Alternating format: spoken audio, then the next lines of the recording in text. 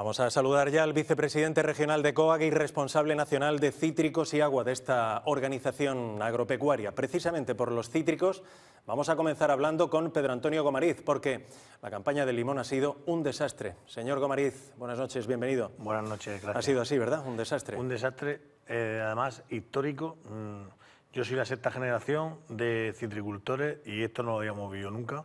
Hemos vivido crisis de limón, pero de esta magnitud ninguna. ¿Qué radiografía hace de la situación del sector del limón en este momento en la región? Pues ahora mismo eh, es una radiografía en la que se están arrancando árboles, se están abandonando explotaciones. Los que estamos intentando seguir para adelante estamos gastándonos el dinero en tirar el limón al suelo. Si nos cuesta 22 céntimos de 22 a 24 céntimos cultivar un kilo de limón. Este año a eso hay que sumarle ese coste que nos vamos a recuperar más unos 7 céntimos de tirar el limón al suelo. Es decir, vamos a tener unos 30, por encima de 30 céntimos negativos por explotación, sin ningún ingreso. Cuente qué empresa, qué persona, qué familia puede subsistir sin tener ingresos y sin, teniendo los gastos y teniendo más gastos de lo normal. ¿Y por qué ha ocurrido esto esta campaña? No se debe a un solo factor, se debe a muchos factores. Factor climático, hemos tenido eh, la, desgracia de tener varios episodios de pedrisco, hemos tenido eh, unas enfermedades que vienen, unas plagas que manchan el limón y no lo dejan comercial mm, para poder venderlo en fresco, eh, que vienen, esas plagas vienen del limón que viene de terceros países, la entrada de limón de terceros países, Turquía, Sudáfrica, ahora Argentina, que encima está haciendo una competencia desleal que no, que no cumplen lo mismo que nosotros, entran con plagas, con esas plagas que nos manchan y nos destrozan nuestros cultivos y nuestros productos y a la misma vez hunden los precios porque inundan los mercados con productos que nosotros tenemos producidos más baratos porque no cumplen las mismas normativas que nosotros y hunden. Más aparte que es un año históricamente de una producción muy alta debido a, una planta, a un aumento de plantación del limón en los últimos años. Entonces se ha juntado que climáticamente, porque el limón es una variedad, es un cultivo que varía muchísimo su producción de un año a otro en función de la climatología. El año pasado estábamos en torno a un millón de toneladas de producción a nivel nacional y este año estamos por encima del millón trescientas mil toneladas. Es decir, esa variación también influye mucho en los mercados y no solo por la cantidad de árboles más que se han puesto, sino también por las condiciones climáticas. O sea, que toneladas de limones murcianos se han quedado sin recoger. ¿Ocurrirá lo mismo la campaña siguiente? Esperemos que no. También tiene que decir mucho la climatología, pero también tuvimos un episodio de granizo en la zona de fruta. El granizo, mm, por desgracia, va siempre a, a las zonas donde están a punto de recolectar. Ahora estamos en la fruta, pues afecta. Eh, climatológicamente, como se ha tenido mucho tiempo los limones en el árbol, que todavía los tenemos, que los estamos tirando, más de 400.000 toneladas en la región de Murcia, que se dice muy pronto, de 800.000 que suele ser una media de producción, que más del 50% eh, se está tirando al suelo. Eso también hace que el árbol se quede sin nutrientes y no tenga una floración fuerte. Entonces, de cara al año que viene, las expectativas es que la producción sea baja. Pero claro, la bola de cristal tampoco la tenemos los agricultores. Me llega que los agricultores murcianos están sufriendo un trato desigual respecto de los de Andalucía y Valencia. ¿Esto es cierto? Y, si lo es, ¿por qué, por, qué ocurre? Y por partida, la, la causa no la sabemos. De hecho, pensamos que esto es un disparate. Es surrealista porque el limón, el limón se concentra en el Levante, Almería, Murcia y Alicante algo, y el cítrico, bueno, subimos un poquito más hasta Valencia y extendamos un poco más a Andalucía, pero resulta que tanto en los módulos del IRPF, en su bajada, como en una autorización excepcional de un producto fitosanitario para poder atajar estas plagas de cuarentena que han venido de terceros países, en los productos que vienen importados de Turquía, de Sudáfrica, etcétera, el Ministerio le ha dado autorización a la Comunidad Valenciana y a Andalucía y no se le ha dado a Murcia para el mismo producto. Igual que con el IRPF le ha reducido los módulos a Andalucía y a Valencia y no, se lo ha no nos lo ha reducido a los agricultores murcianos. No entendemos el por qué hay este agravio corporativo, hay esta desigualdad.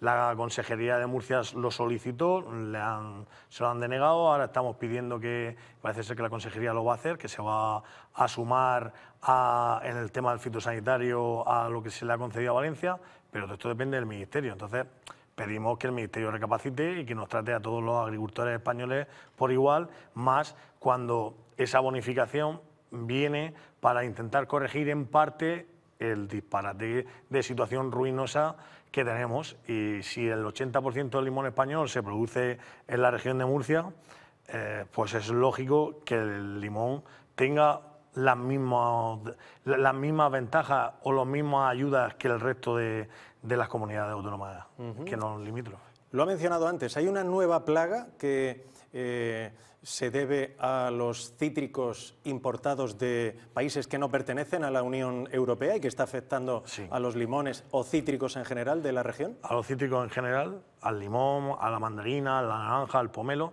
son trip, trip son trip dorsalis parvipinum de la orquídea, sobre todo dorsalis de la orquídea, y es un bichito que lo que hace es comerse la corteza. Provoca lo que estamos viendo en estas imágenes, ¿verdad? Sí, se come la corteza, es ese bichito amarillo pequeño que ven, y lo que hace es comerse la corteza, no le afecta al fruto en su madurez, ni en su calidad, calidad organoléptica, ni en su zumo, en nada, pero sí en su calidad visual.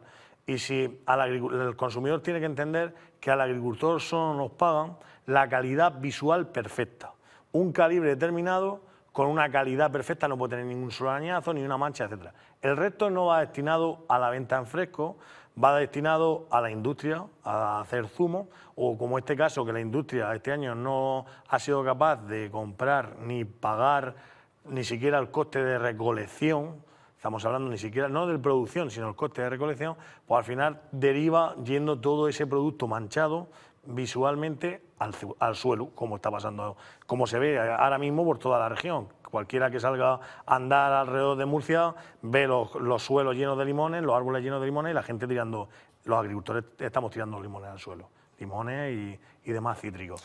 Entonces, este tri, que ya no es solo el daño que nos hace que se traiga producto de fuera. Cuando un producto de fuera viene a España y los operadores nuestros lo venden a Europa o va directamente a Europa, al final no solo es daño comercial, que no, si nos inducen a precio más barato, unas veces más barato y otras veces no más barato, pero al final genera una sobreoferta que hace que baje todo el precio por general.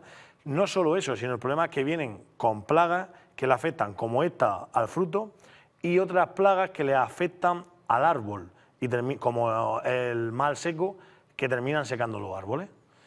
Es decir, estas plagas que aquí no están, que aquí no tenemos herramientas autorizadas. Cuando decimos es la autorización excepcional, es porque no hay productos fitosanitarios, cada día se van eliminando todos, tendemos una agricultura sostenible, una agricultura ecológica en la que se funciona con fauna auxiliar, se sueltan bichitos para que se coman los otros bichitos.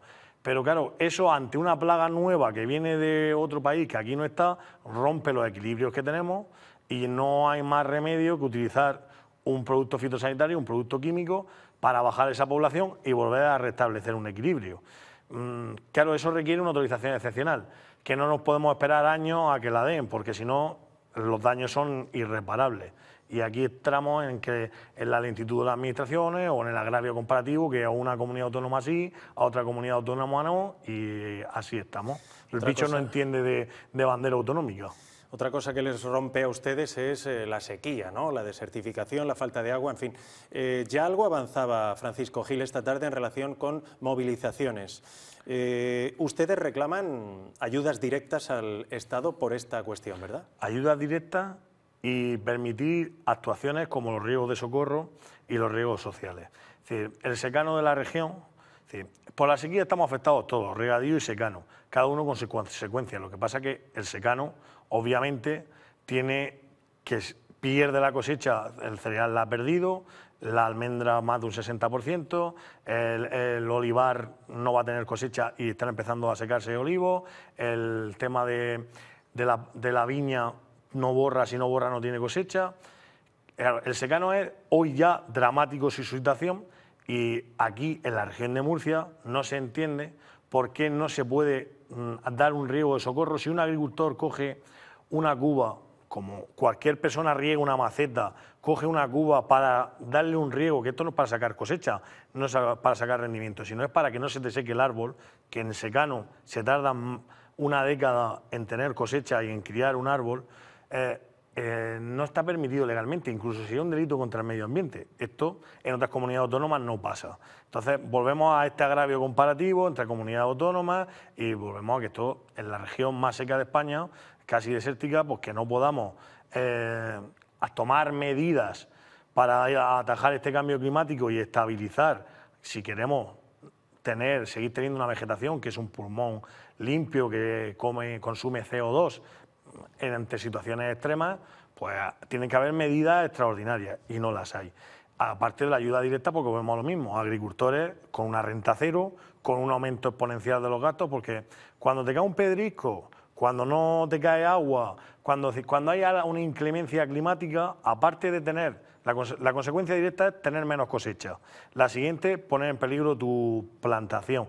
Pero es que eso lleva aparejado, para que no pase eso, intenta un aumento de costes. Intenta hacer todo lo posible para curar el árbol por el granizo, para intentar echar cualquier cosa para que el árbol no se seque o que lleve un complemento por esa falta de agua. Eso es un aumento directo de los costes en una situación en la que tienes menos ingresos o ingresos cero, con lo cual es mm, más ruina para la agricultura. Por eso lo de la ayuda directa. Hay que explicar uno cuando pide una ayuda por lo que es. Y la ayuda es cuando ya no hay más remedio y cuando la situación es dramática como la que es. Y si queremos seguir teniendo árboles tanto en regadío como secano, y sobre todo a corto plazo en secano, necesitamos que haya respuesta de las administraciones. Ustedes piden varias medidas más que próximamente, en las próximas horas, van a detallar conjuntamente con eh, Asaja. Con Asaja. Y en las próximas horas se va a explicar, se va a explicar la movilización, como ha adelantado Paco Gil, para la semana que viene. Eh, y bueno, vamos a hacer una concentración y bueno, en esto, por esta situación tan dramática, porque esta situación dramática de la sequía trae más situaciones dramáticas. ¿Cómo, por ejemplo? Como el aumento de los daños por la fauna silvestre, cinegética y no cinegética. Porque, claro, no solo no llueve en el secano, en los cultivos agrícolas, tampoco llueve en las zonas forestales, en los montes. Eso que hace que los animales no tengan ni agua ni alimentación. ¿Dónde van a comer? Donde hay comida, que es en las explotaciones agrícolas.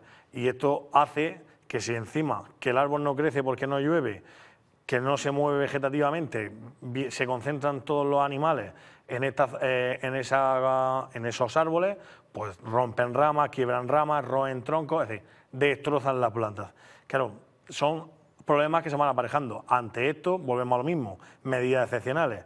Hay una medida de actuación para controlar poblaciones dictadas por la Administración, hay una resolución de daño, hay una orden de emergencia cinegética para el jabalí, porque no solo hace daño a la agricultura, estos, estos animales, estas superpoblaciones de animales conllevan, llevan garrapatas que traen enfermedades.